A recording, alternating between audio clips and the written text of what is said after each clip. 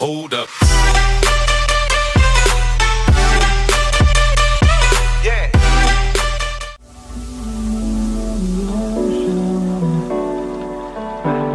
Die out too hard.